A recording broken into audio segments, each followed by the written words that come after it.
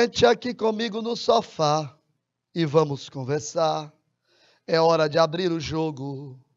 Nosso amor tá indo de água abaixo. Se deixar virar relaxo, temporal apaga o fogo. Porque você não olha nos meus olhos. Seu beijo não tem o mesmo sabor. Os seus carinhos não me faz dormir. Me xinga quando a gente faz amor. Você só vai tomar banho sozinha. Na hora do jantar me diz que já comeu. Não vê novelas e nem liga o som. Diz que não tem nada bom que satisfaça o ego seu.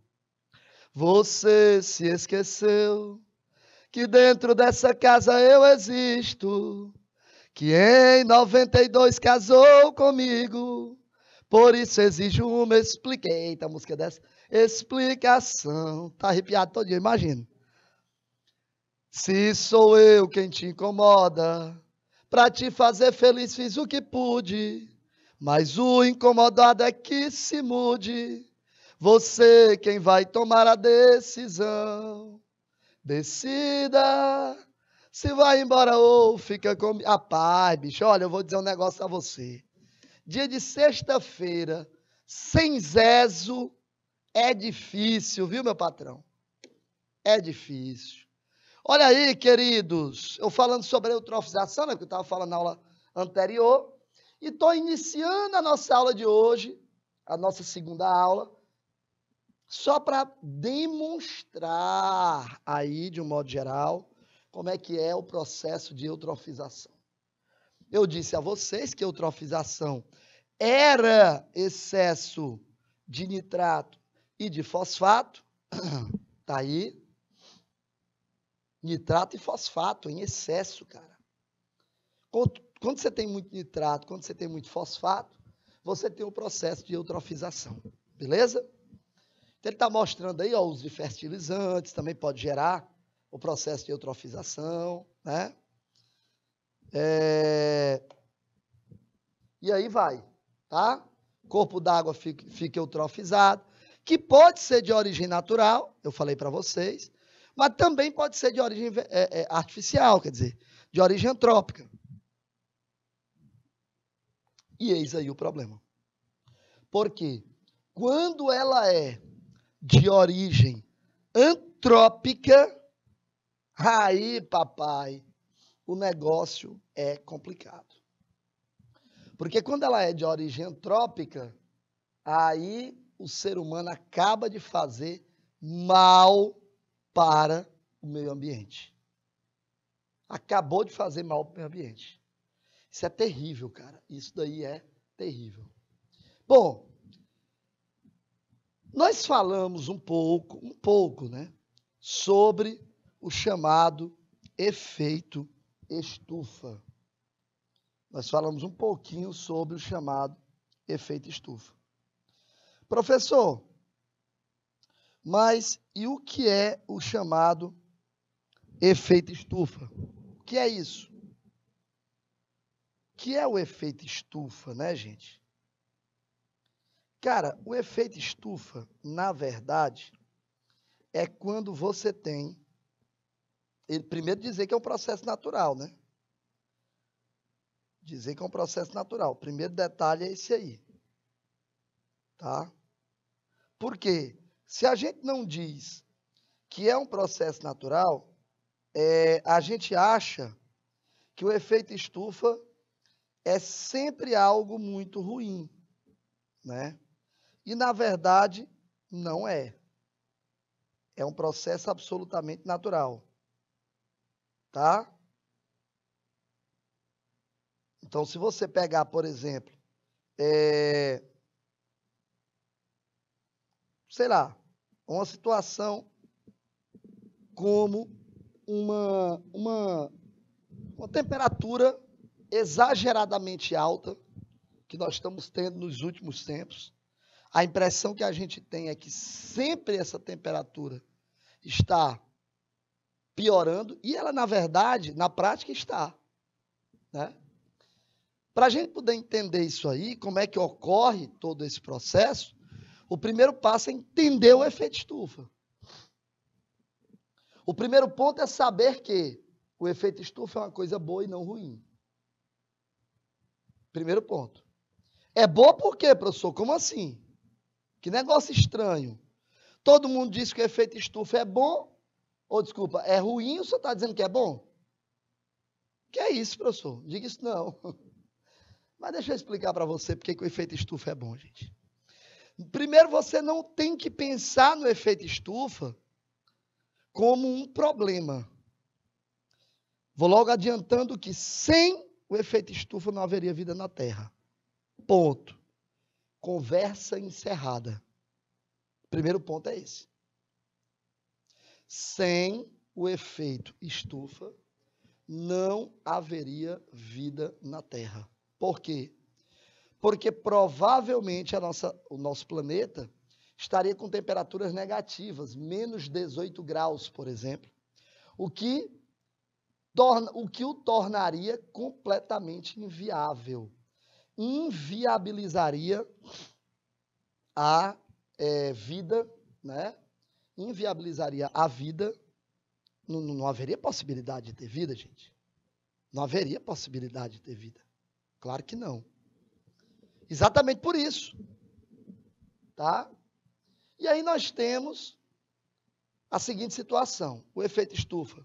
São gases que ficam acumulados na atmosfera e que os raios do Sol incidem sobre ela, sobre a Terra.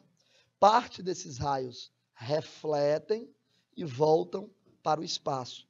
Outra parte fica retida por conta dessa camada. Acontece que essa camada aí, ela incide, é, esses raios incidem, e ao retornar, é, ele deixa um pouco de calor aqui, o que é o suficiente para tornar a nossa água no estado líquido. E aí sim, viabilizando a vida na Terra. Mas Porém, entretanto, todavia e por conseguinte, o efeito estufa, quando é aumentado, e eis aí o problema, aumentado por quê, professor? Aumentado pela emissão de gases de efeito estufa. Tais como CO2 e metano, nós discutimos na nossa aula de hoje aqui esses gases se acumulam com os que já tem na atmosfera e aprisiona uma quantidade ainda maior de temperatura. E é exatamente o aprisionamento dessa quantidade ainda maior de temperatura que gera o aumento da temperatura na Terra. Aí sim, você tem geleiras, a parte imersa da geleira é, derretendo.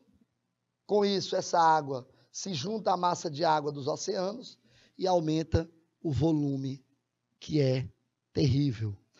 Professor, quais seriam as principais fontes de poluição dos ecossistemas aquáticos? Uma delas é, é de poluição dos sistemas aquáticos, o pior de tudo é o ser humano, né? Rapaz, o ser humano. A bagaceira que o ser humano faz. Só para tu ter uma ideia, Gabriel. Uh, na época do pós-guerra, pós-segunda guerra mundial, boa parte do arsenal bélico uh, nuclear das duas superpotências, União Soviética, União das Repúblicas Socialistas Soviéticas e Estados Unidos da América, quando eles faziam seus testes, né, eles ah, jogavam no mar. Porque achavam que jogar é, substâncias altamente nucleares no mar seriam, seriam, seria uma coisa boa, não teria problema nenhum, não teria consequência. Não é? Porque é no mar. Olha isso. Junte-se a isso os famosos canudinhos, né, que aí pegou aquela, aquela tartaruga marinha, que, que serviu como, como, como foto da tartarugazinha lá com o plástico no nariz, um canudinho no nariz. Né? Coloca aí esse canu, esse, esses canudinhos e etc, etc, etc. É, é, um monte de plástico. Eu estava até falando sobre o filme do Aquaman, não sei se vocês lembram. Esse primeiro filme do Aquaman lá, parece que é Leia o nome da princesa, a princesa Leia, alguma coisa assim. Logo no começo do filme, ela, ela, eles jogam um monte de sujeira que estava nos oceanos, jogam diretamente no, na terra. Aquilo ali é resultado de intervenções antrópicas, intervenções do ser humano, ao longo de centenas, dezenas, centenas de anos. Gente, isso é assim danoso para o meio.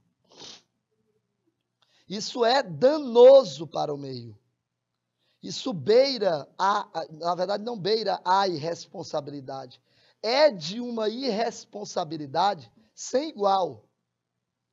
Né? Então chega um momento em que essa quantidade toda de substâncias fora decomposição, mas a decomposição é um processo natural, né?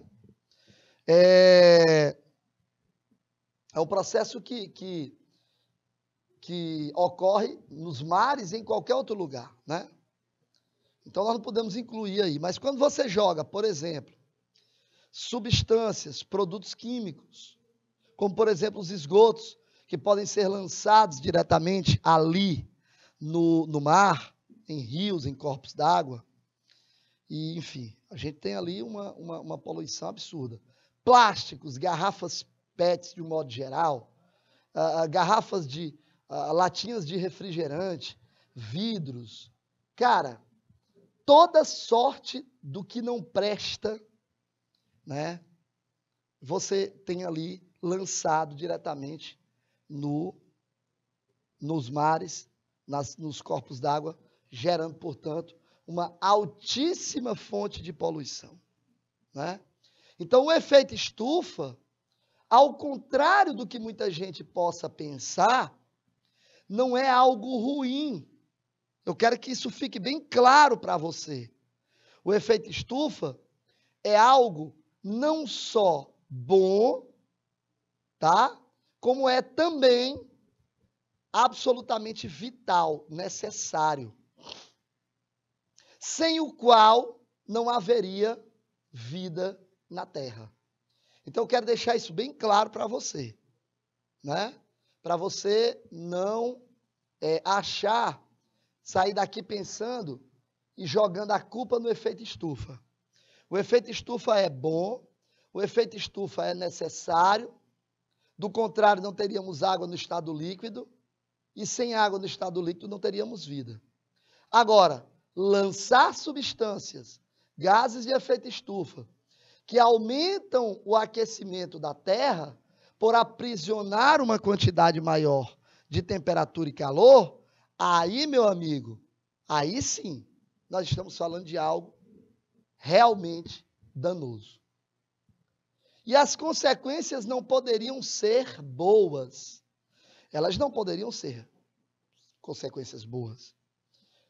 É, por exemplo, derretimento de calotas polares, aumento do nível do mar, que eu acabei de citar para você. Né? Digo mais, aqui no, no canal Educação, nós temos é, um professor de literatura chamado professor Luiz Romero, que ele tem uma casa na praia. E essa casa dele pode estar ameaçada. Por quê, professor? Porque se ele, né, assim como todos os outros, não contribuírem para a diminuição da temperatura na Terra, o que, que vai acontecer? Um aumento do nível dos oceanos e, por consequência, aquele sonho lindo maravilhoso vai estar comprometido, né? Vai estar comprometido. Já pensou? O cara ali acordar, abrir a janela, dar de cara com o mar, né? E aí você ter na, ali aos pés, dos, da, da, aos seus pés, literalmente, uma quantidade enorme de água que vai inviabilizar esse sonho, imagina. Extinção de espécies e danos a diversos ecossistemas e por aí vai. Gente, eu estou falando de algo seríssimo. O planeta, infelizmente, nem pode mais, não pode mais nem falar de esperar para que isso aconteça. Nem esperar. Ó, não tem mais o que programar. Não há mais o que programar. Gente, por falar em negócio de casa à beira-mar, eu, olhando né, o Instagram, o Instagram, como o pessoal aí, os norte-americanos gostam de dizer, os gringos, o Instagram, eu olhando o Instagram, eu vi lá uma, uma no Reels, eu vi uma, um vídeo que mostra é, ondas do mar, são apartamentos, também, meu irmão, aqueles apartamentos ali, acaba pode dizer que estão praticamente dentro do mar, né? Dentro do mar. E aí, o cara vê aquela água, aquele mazão de água, cada pancada, meu irmão. A água chega, sobe, invade a varanda dos apartamentos. Rapaz, eu vou dizer um negócio a você. Eu sou alucinado pelo mar. Eu sou quase um Aquaman. alucinado pelo mar. É, mas eu fiquei com medo. Eu fiquei com medo. Porque realmente é um negócio. É, um negócio absurdo. Aquilo ali é uma coisa assim, sem igual. Né? Você fica pensando, poxa, negócio desse é complicado, hein? Bem complicado. Bom, vamos lá, galera. que é isso, ué. Mais para uma sereia não pode, não é possível. Ô Rosário, sereias não existem, Rosário.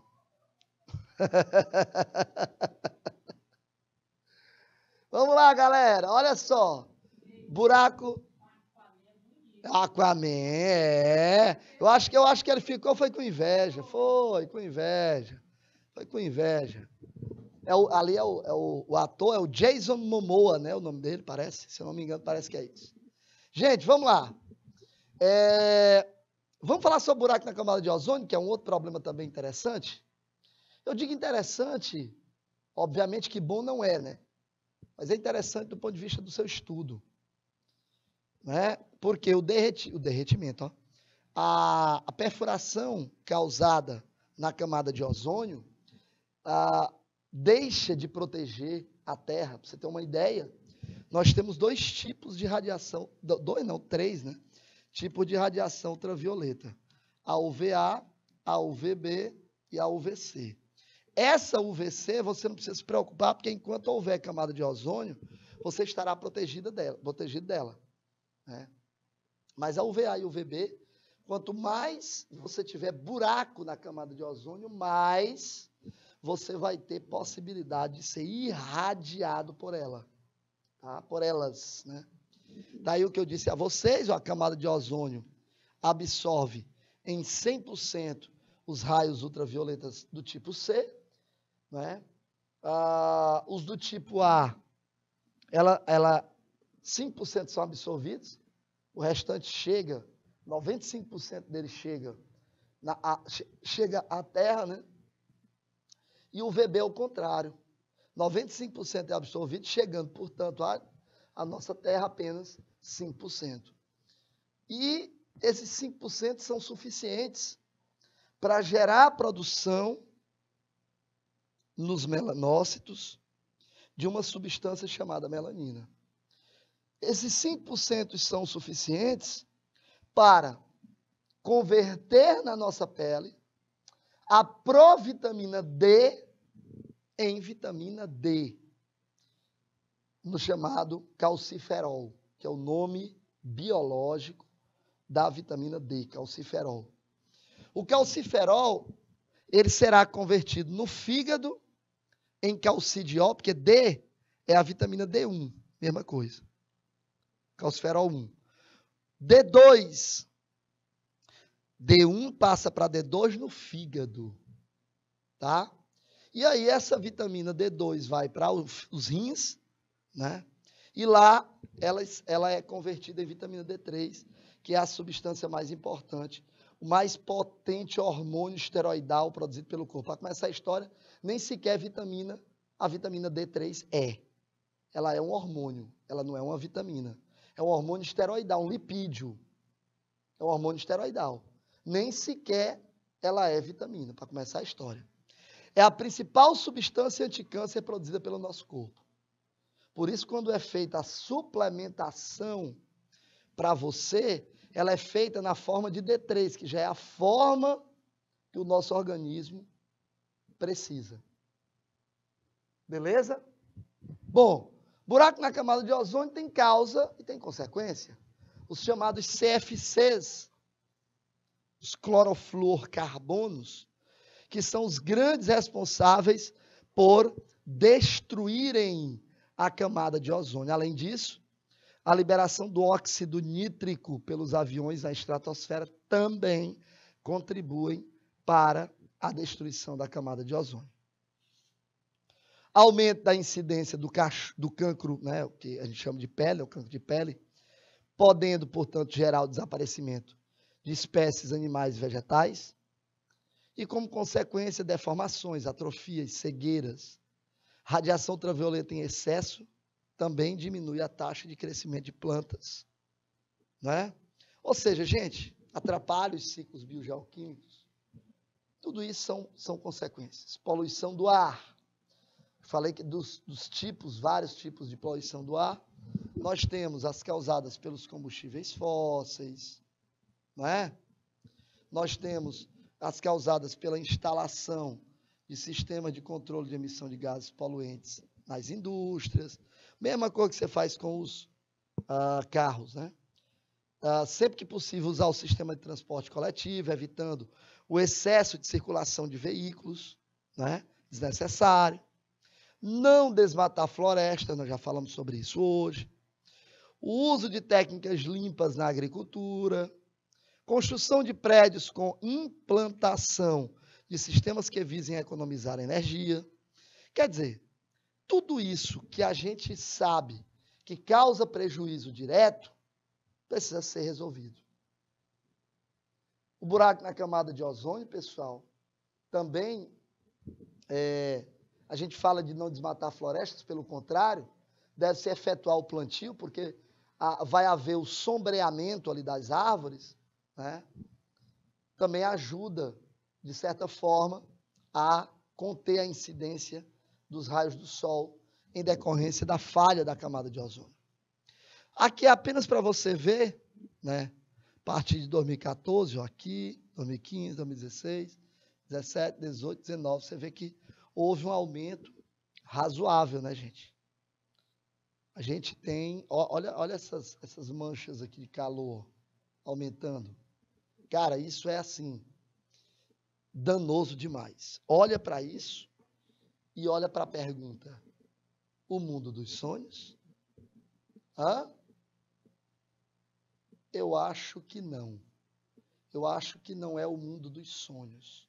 É o mundo onde isso aí que você está vendo é perfeitamente possível.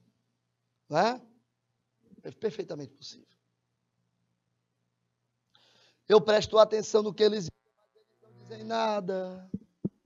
Yeah, yeah. Engenheiros do Havaí. Olha só, gente, me lembrei dessa música agora. Então, vamos lá para as nossas questões? Vamos lá? Toda vez eu coloco para você uma as questões e um tempo, né, gente? Ele coloca um texto grande falando aí sobre a questão da, do uso das, da, dos tipos, dos mais diversos tipos de energia tá? Falando aqui também do metano, tá? Emissão de metano das, das hidrelétricas e falando aqui também da emissão de CO2. E aí ele diz: no Brasil, em termos de impacto das fontes de energia, do crescimento do efeito estufa, quanto à emissão de gases, as hidrelétricas são, portanto, consideradas como fonte o quê? Poluidora, limpa, o que, que é? Hã? Eu vou dar dois minutos, só que eu vou fazer, ó. Primeiro um minuto aqui, aí o Isnaba passa e dá um minuto na outra, que é, são as alternativas. Até já.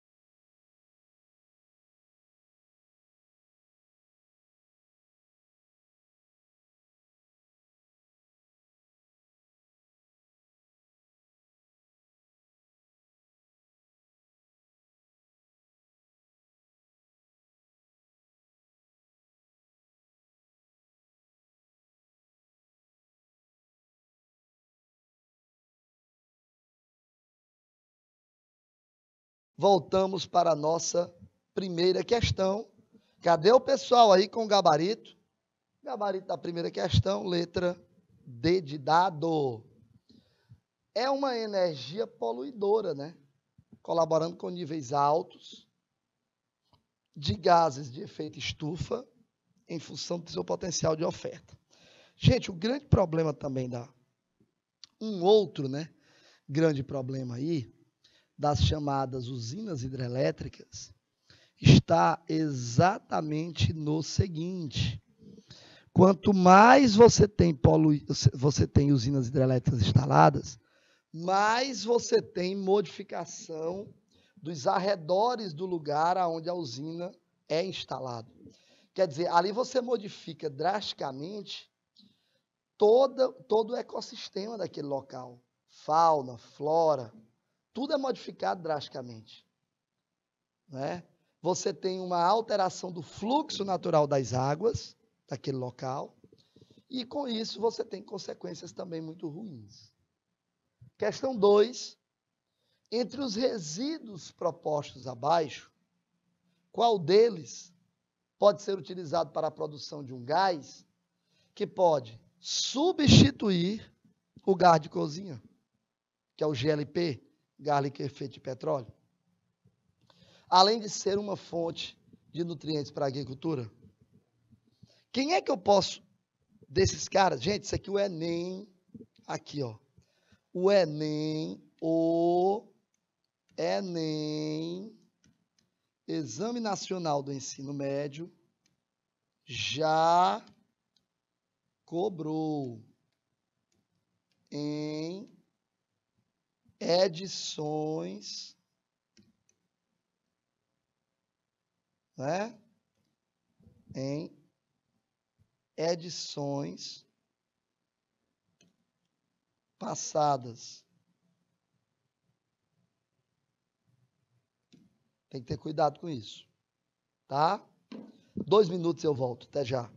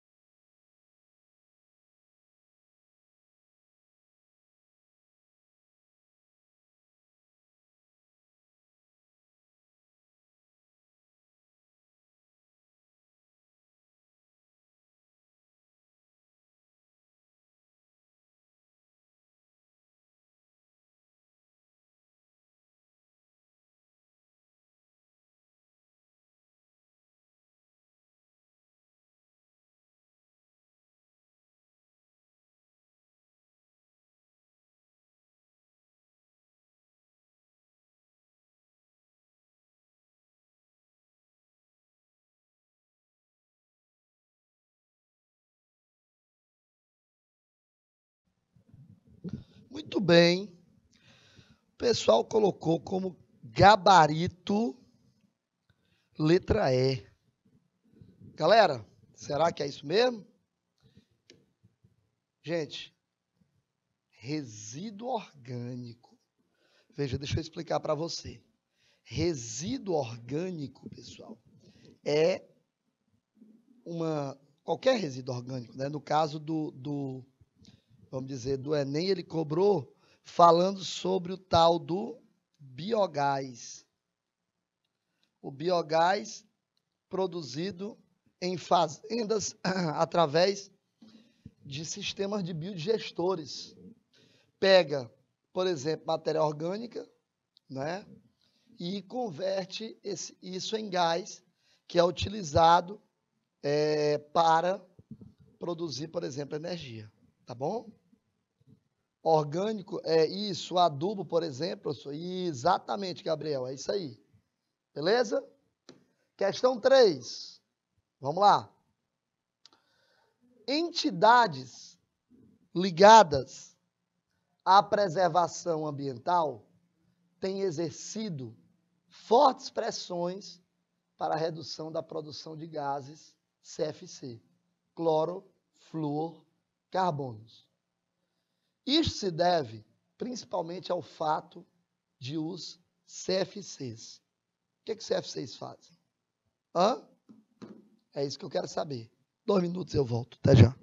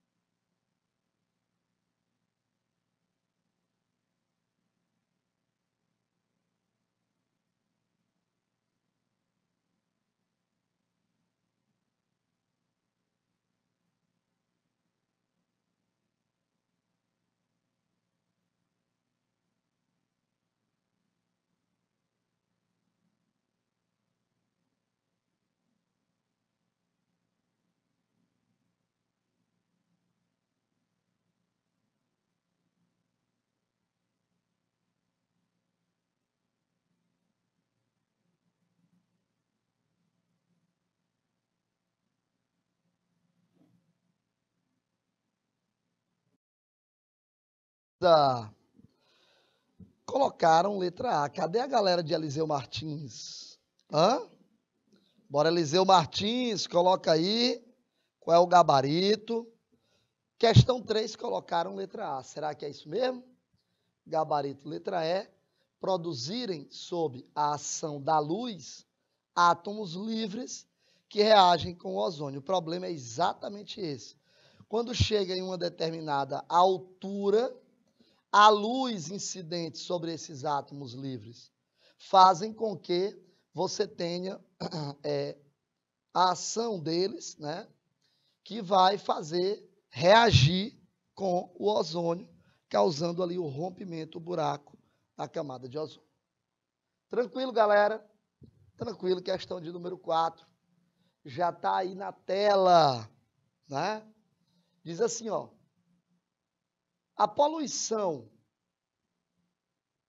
atmosférica causa preocupação em todo mundo, uma vez que provoca danos ao homem e ao meio ambiente.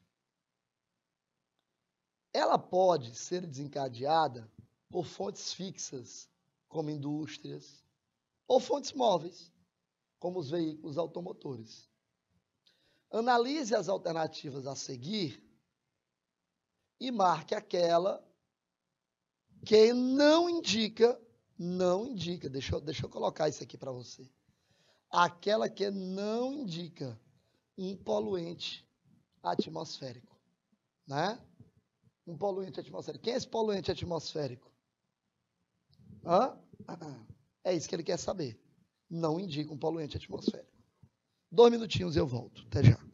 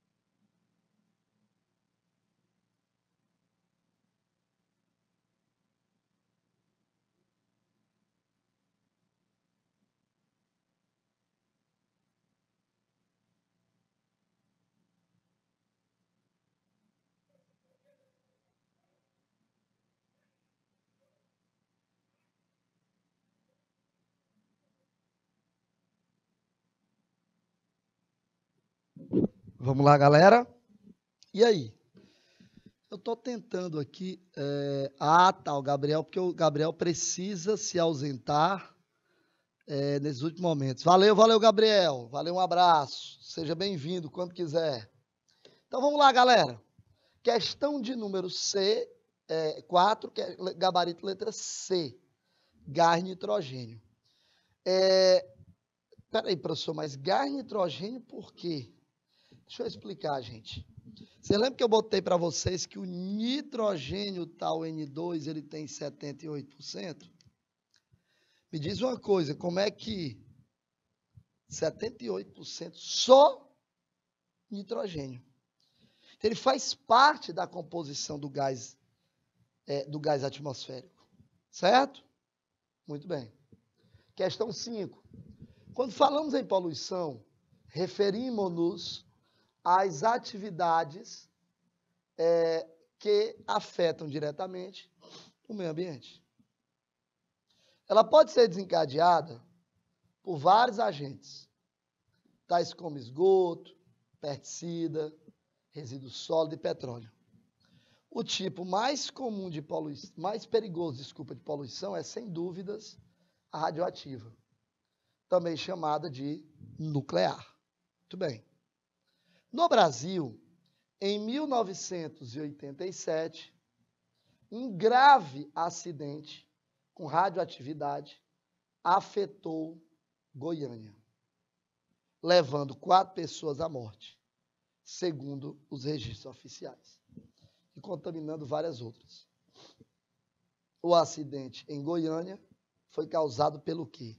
Que substância dessas aí colocadas é, é, constituem a substância em que aconteceu o acidente lá em Goiânia? Pergunta interessante. Dois minutinhos e eu volto. Até já.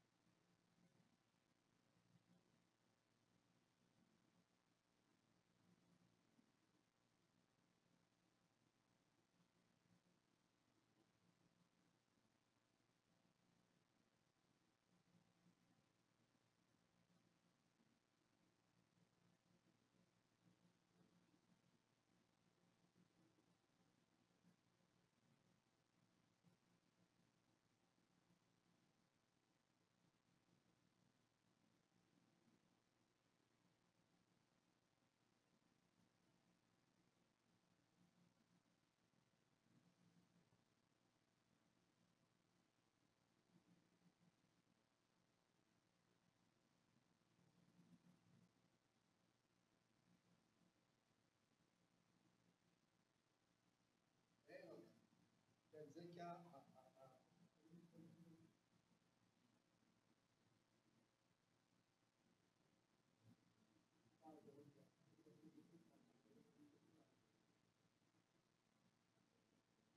Dizendo ela que é para trazer, que, ele tinha trazer. Ele chegou aí, não sei se ele trouxe.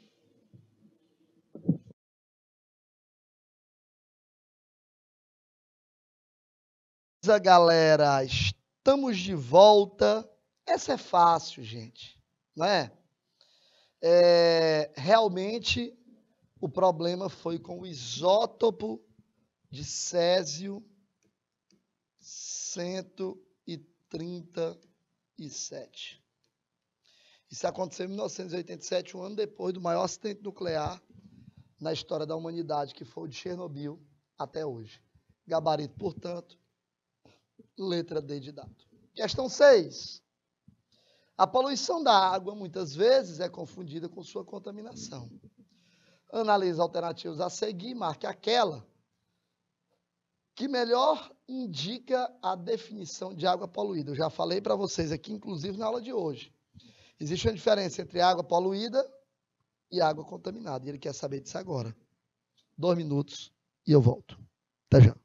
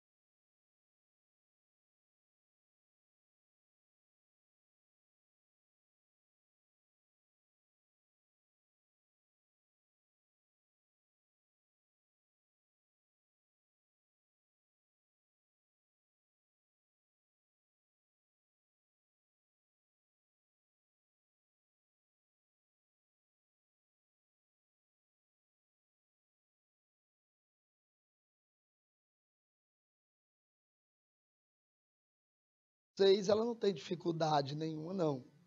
É uma questãozinha, apesar de grande, simples, porque ele fala de água poluída, diferente de água contaminada. Poluída é substância química.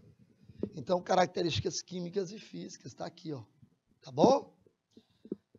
Beleza, questão 7 está na tela. As florestas tropicais úmidas contribuem muito para a manutenção da vida no planeta por meio do chamado sequestro de carbono atmosférico. Resultados de observações sucessivas nas últimas décadas indicam que a floresta amazônica é capaz de absorver até 300 milhões de toneladas de carbono por ano. Conclui-se que, portanto, florestas exercem importante papel no controle de quê? Qual é a função? Aqui não está valendo, tá, gente? Que vale aqui. Qual é a função, qual é o papel exercido pelas florestas controlando alguma coisa? Controla exatamente o quê? Hã? Dois minutinhos e eu volto. Até já.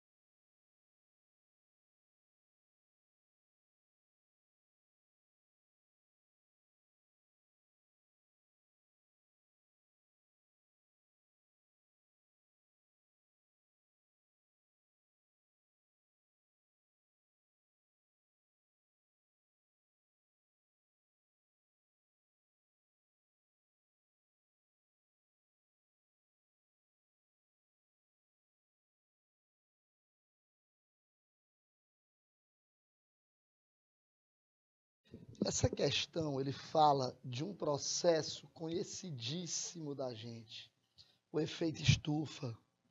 Por quê? Porque a floresta é capaz de capturar carbono, esse é o grande detalhe. Essa é a grande vantagem. Muito bem. Essa é fácil, né? As atividades produtivas são importantes fatores que interferem diretamente na ocorrência do efeito estufa. No que toca à energia, pode-se afirmar que o efeito estufa está diretamente relacionado à produção energética. Por meio de quê? Um minuto só. Um minuto e eu volto. Até já.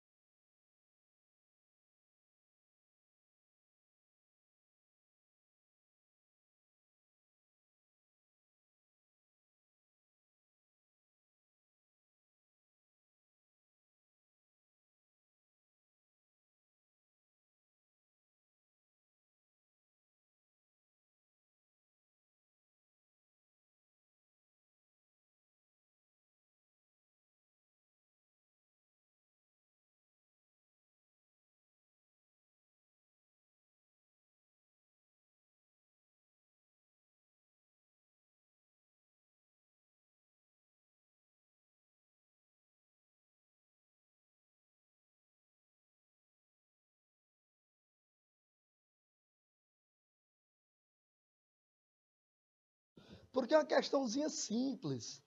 Ele fala de produção energética por meio de quê? Energia através de combustíveis fósseis. Beleza? Essa também é um pouquinho grande, mas é fácil. Olha o que, que ele diz. O despejo de dejetos de esgoto doméstico industrial vem causando sérios problemas aos rios brasileiros. Esses poluentes são ricos em substâncias que contribuem para a eutrofização de ecossistemas, que é um enriquecimento da água por nutrientes, que provoca um grande crescimento bacteriano e, por fim, pode promover escassez de oxigênio. Uma maneira de evitar a diminuição da concentração de oxigênio no ambiente é um minuto e eu volto. Até já.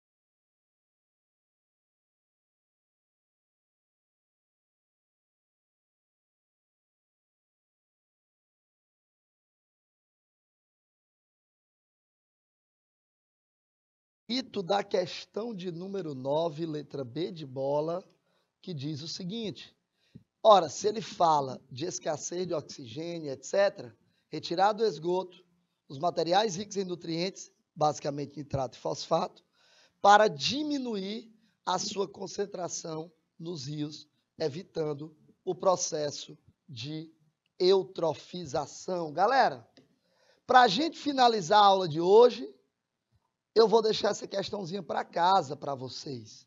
Não importa gabarito. Aqui eu quero que você copie e faça. Um minuto para copiar somente. Eu volto.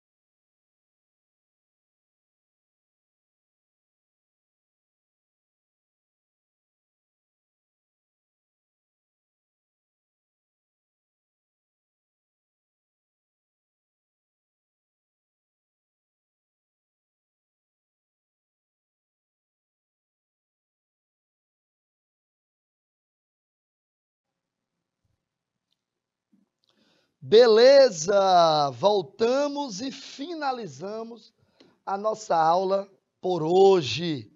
Espero que vocês tenham gostado. Forte abraço, fiquem com Deus. Semana que vem, se Deus quiser, nos veremos novamente. Até lá.